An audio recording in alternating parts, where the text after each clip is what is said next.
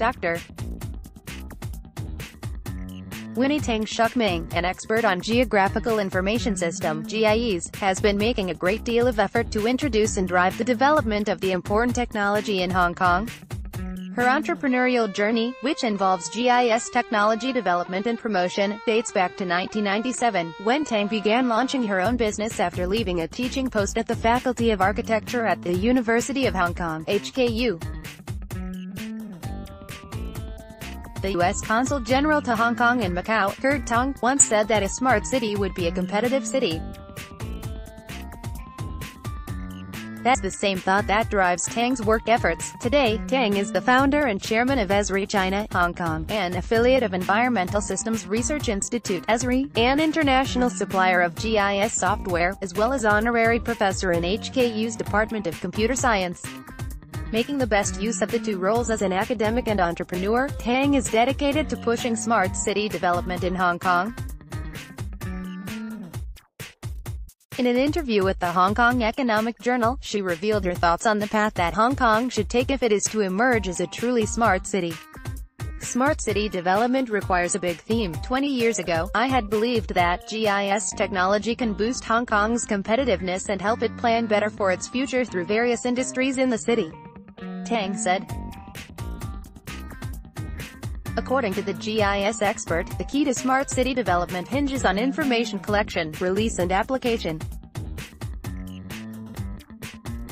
Location and spatial data are the two vital elements that constitute the GIS technology. What Hong Kong City lacks most in relation to smart city development is a goal and direction, Tang said.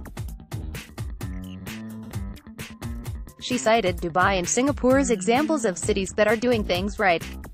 Tang noted that the Smart Dubai initiative aims to let the public obtain real-time kinematics, so that its government can formulate policies based on analysis of different data, with a view to making it the world's happiest city.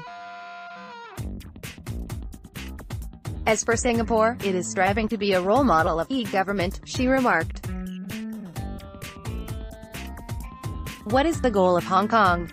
The places in the world that have decent smart city development have their own themes or vision. Tang said. Retaining talent Speaking on the issue of retaining talents, Tang proposed commodification. To keep any talent, one has to turn research into a commodity, so that developers can share the benefits of the research results, she said. Otherwise, they will just regard doing research as merely doing a job. Last year, Tang returned to HKU to teach Smart City in a master's degree program.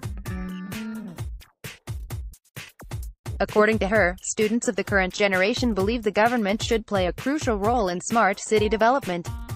But from my point of view, smart city development should be bottom-up, the citizens, industries, and academics should build it together. In 2016, Tang founded the Smart City Consortium that gathers professionals from different industries to serve as a coordinating bridge between the government and the public, as well as between Hong Kong and the world, in order to offer advice to citizens and the government. This article appeared in the Hong Kong Economic Journal on June 28, translation by Jonathan Chong with additional reporting, Chinese version 1, Chinese version 2, contact us at email protected, jc, rc.